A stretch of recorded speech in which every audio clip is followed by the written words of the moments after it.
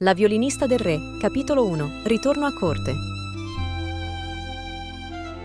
Le carrozze avanzavano lentamente lungo il viale alberato che conduceva alla corte reale. Il sole del tardo pomeriggio filtrava attraverso i rami degli alberi secolari, gettando lunghe ombre sulla strada.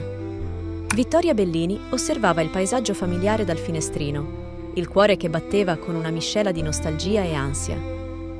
Era trascorso un decennio da quando aveva lasciato quel luogo ma ogni dettaglio sembrava immutato. La carrozza si fermò di fronte al maestoso palazzo reale. Vittoria scese con grazia. Il suo abito scuro ondeggiava leggermente al vento. Le grandi porte dorate del palazzo si aprirono, rivelando una scalinata di marmo bianco che brillava sotto la luce del tramonto.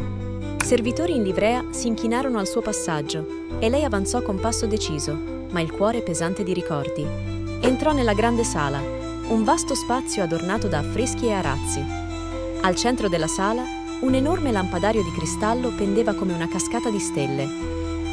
Le finestre ad arco, alte fino al soffitto, lasciavano intravedere i giardini lussureggianti all'esterno.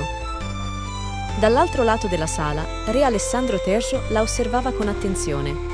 Alto e robusto, il re aveva una presenza imponente. I suoi occhi blu ghiaccio riflettevano autorità e saggezza. Il suo sguardo si posò su Vittoria e per un momento il tempo sembrò fermarsi. Accanto al re, Luigi Monti, il suo fidato consigliere, seguiva la scena con uno sguardo vigile.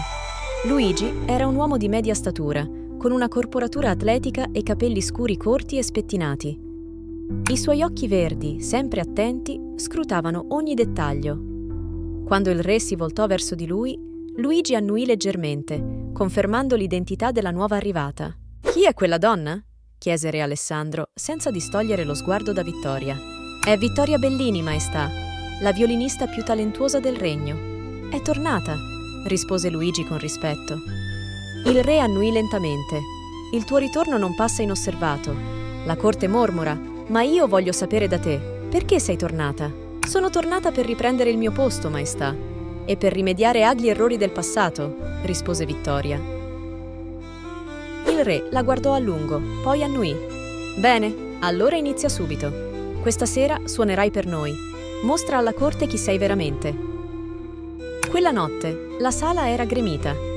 Vittoria prese il suo violino, le mani ferme nonostante l'emozione. Quando le prime note risuonarono nella sala, tutti rimasero incantati. Ogni nota era un pezzo della sua anima, un racconto di dolore, amore e speranza. Re Alessandro la osservava, il suo sguardo fisso su di lei. Luigi, accanto a lui, sorrideva lievemente. Sapeva che il ritorno di Vittoria avrebbe portato cambiamenti, ma forse erano proprio i cambiamenti di cui la corte aveva bisogno. E così, con la musica che riempiva la sala, iniziava il primo capitolo di una storia che avrebbe cambiato per sempre le vite di tutti alla corte. Vittoria Bellini era tornata e nulla sarebbe più stato come prima.